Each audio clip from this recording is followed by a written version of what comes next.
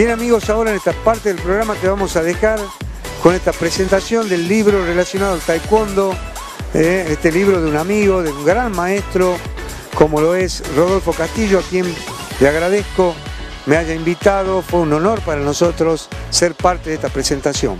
Vamos entonces con Rodolfo Castillo.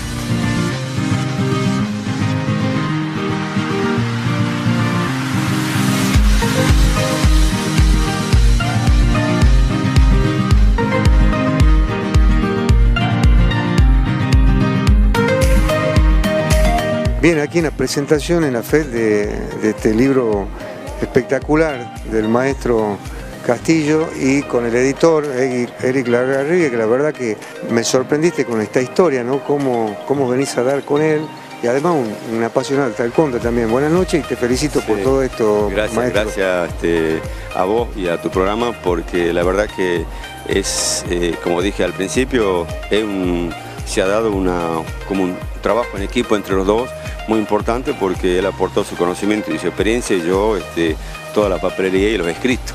Eric, Eric eh, visiblemente emocionado, ¿no? Mientras presentaba este libro, una hermosa historia además, ¿no? Claro.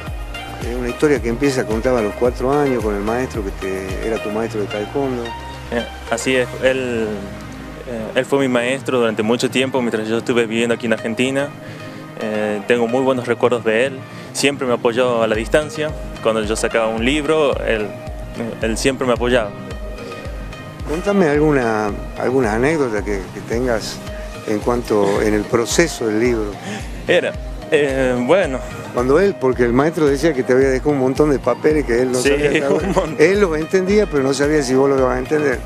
Y me dejaba una semana, me dejaba todos los papeles, este, yo le decía sí, podía, eh, esto funciona, podemos, avanzamos y a veces le pedía material y con los tiempos de él nos estábamos haciendo, tirando de un lado por el otro porque yo le pedía cosas y él a veces tardaba en, en entregármelas, me las entregaba y yo bien.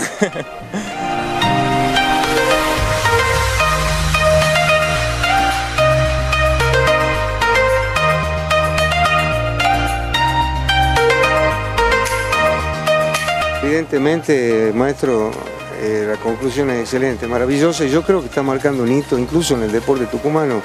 Eh, no tengo al menos registro de, algún otro deportista que haya editado un libro. Sí, sí, la verdad que el producto de, mucho tiempo de, reflexiones, de observaciones, de, hacer a veces los análisis sobre determinados cuestionamientos propios que se hace uno de la actividad y eso va generando este, un crecimiento y un enriquecimiento en, en, la actividad misma de uno, porque en definitiva eh, a la medida que uno va eh, observando, eh, en definitiva se da cuenta que el observado es uno y eso genera profundidad en las reflexiones, mejoramiento en los comportamientos, en los gestos deportivos, o sea que es un compendio que abarca todo, en todo aspecto, todo tiene que ver con todo, como quien dice. Yo te felicito por esto, el mejor de los éxitos, había una mesa llena de libros abajo, he ido a comprar, ya estábamos entre los últimos, así que este, evidentemente va a ser un éxito y, más en la familia de Traucondo, ¿no? Muchas gracias, muchas gracias a vos, este, a todo tu equipo de trabajo y felicitaciones también por no solamente por el trabajo periodístico que haces, sino